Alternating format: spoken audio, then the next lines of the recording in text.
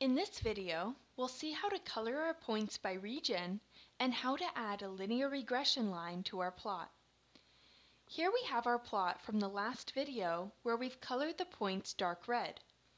Now let's color the points by region instead. This time, we want to add a color option to our aesthetic since we are assigning a variable in our dataset to the colors. To do this, we can type ggplot and then first give the name of our data, like before, WHO, and then in our aesthetic, we again specify that x equals GNI, and y equals fertility rate. But then we want to add the option color equals region, which will color the points by the region variable. And then we just want to add the geom_point function and hit enter. Now in our plot, we should see that each point is colored corresponding to the region that country belongs in. So the countries in Africa are colored red, the countries in the Americas are colored gold, the countries in the Eastern Mediterranean are colored green, etc. This really helps us see something that we didn't see before. The points from the different regions are really located in different areas on the plot. Let's now instead color the points according to the country's life expectancy. To do this, we just have to hit the up arrow to get back to our ggplot line, and then delete region and type life expectancy. Now we should see that each point is colored according to the life expectancy in that country. Notice that before we were coloring by a factor variable, region, so we had exactly seven different colors, corresponding to the seven different regions. Here, we're coloring by life expectancy instead, which is a numerical variable, so we get a gradient of colors like this. Lighter blue corresponds to a higher life expectancy, and darker blue corresponds to a lower life expectancy. Let's take a look at a different plot now.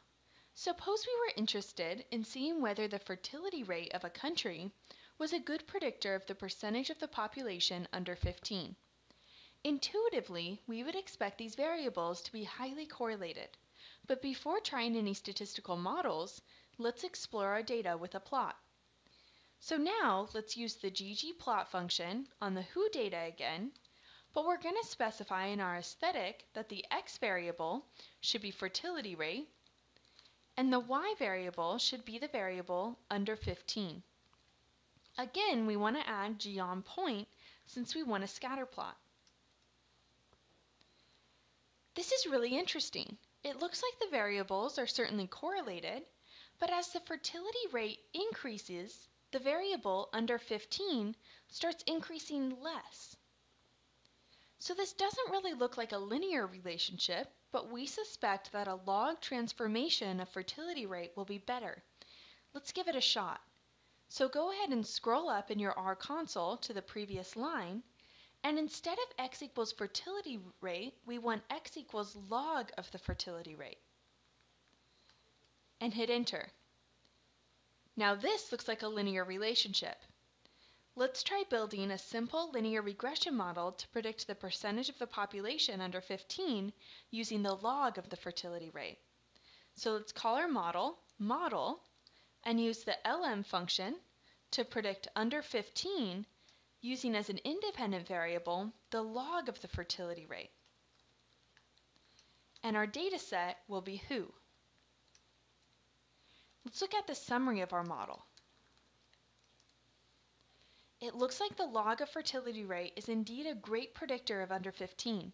The variable is highly significant, and our R squared is 0.9391. Visualization was a great way for us to realize that the log transformation would be better. If we instead had just used the fertility rate, the R squared would have been 0.87. That's a pretty significant decrease in R squared. So now let's add this regression line to our plot. This is pretty easy in ggplot. We just have to add another layer. So use the up arrow in your R console to get back to the plotting line, and then add stat underscore smooth, and in parentheses, method equals, and in quotes, LM, and hit enter. Now you should see a blue line going through the data. This is our regression line. By default, ggplot will draw a 95% confidence interval shaded around the line. We can change this by specifying options within the statistics layer. So go ahead and scroll up in the R console, and after method equals lm, type level equals 0.99 and hit enter. This will give a 99% confidence interval. We could instead take away the confidence interval altogether by deleting level equals 99 and typing SE equals false. Now we just have the regression line in blue. We could also change the color of the regression line by typing as an option color equals, and then in quotes, let's say orange. Now we have an orange linear regression line. As we've seen in this lecture, scatter plots are great for exploring data. However, there are many other ways to represent data visually such as box plots, line charts, histograms, heat maps, and geographic maps. In some cases, it may be better to choose one of these other ways of visualizing your data. Luckily, ggplot makes it easy to go from one type of visualization to another simply by adding the appropriate layer to the plot. We'll learn more about other types of visualizations and how to create them in the next lecture. So what is the edge of visualizations? The WHO data that we used here is used by citizens, policymakers, and organizations around the world. Visualizing the data facilitates the understanding of global health trends at a glance. By using ggplot in R, we're able to visualize data for exploration, modeling, and sharing analytics results.